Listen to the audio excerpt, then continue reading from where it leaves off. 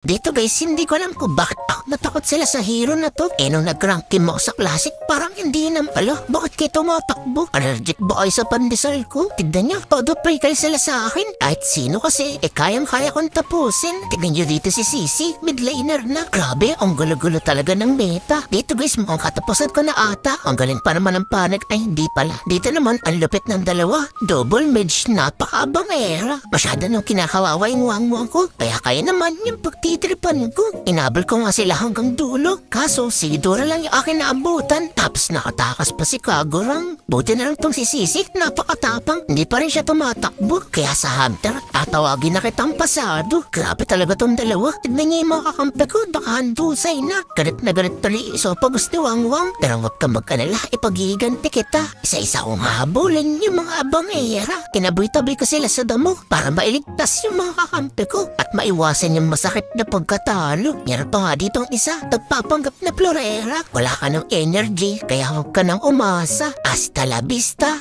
pero hindi ka niya baby. Dito guys, hamon ko sana si Sisi ng sabayan. Kasi yung TikTok niya, hindi ko nakayanan. Yo yo yo yo yo yo yo. Grabe yung skibidi, napakasakit. Pero sa puntong to, eh hindi ako sumuko. Kaya papakitaan ko siya ng perfect susan. Grabe, punit yung pan. Aba, meron pa pala. Yung dalawang napakabangera. Pinasok ko nga sila sa damo. Akala ko kasi, ubus na yung mga skill nito. Kaso meron pa pala.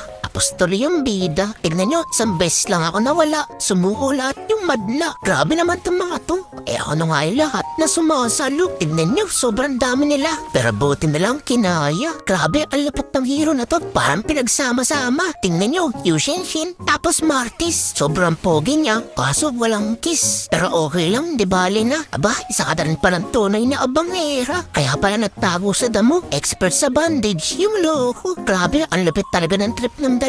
Tambay sa kalye, naghahanap ng mabibiktima. Pero ibahin niyo ako sa kanila. Kaya kong pagsabayin kayong dalawa. Yung tipong mapapayosi, yung kapitbahay niyo sa kabila. Sa punto po, ay nakorner na namin siya. Subukan mong lumapit kung gusto mong mawa. Grabe, sobrang galing dito ni Panig at tignan niyo. Sa dami-dami na kasing kinibol, isa lang yung tumama. Tapos biglang napatakbo nung ako yung nakita. Grabe, huwag ka naman mataranta. Ako lang to, yung cute, walang iba. Aba, si Sisi ang angas. Pumasok-pasok, kakarampot naman yung bawas. Dahil pasensya na, atapusan mo na. Haba break, haba gojo. Ang kulit talaga ng dalawang to. Tignan nyo, doon pa rin yung kanilang ginagawa. Nakaabang, tapos sila yung nawala. Dito guys, si Wangwon nagpasama. Sabi niya, protektahan ko daw siya. Kaso sa dami-dami ng dadaanan, doon pa sa loob ng tore. Tapos hindi pa umuwi. Ayun, naoriente. Kaya huwag kang mag-alala, ipaghihiganti kita. Kumuha kayo ng isa, kaya gagawin kong dalawa. Aba, andito pa rin aking kamukha. Kamusta yun, Pam? Nakabili ka na ba ng lupa? Lupa sa paso? Dito guys, nagulat ako. Si Wang Mang inaabal si Sisi. Buti dumating ako, kamuntikan pa siyang madali. At yung kambal kong lumaki sa pan.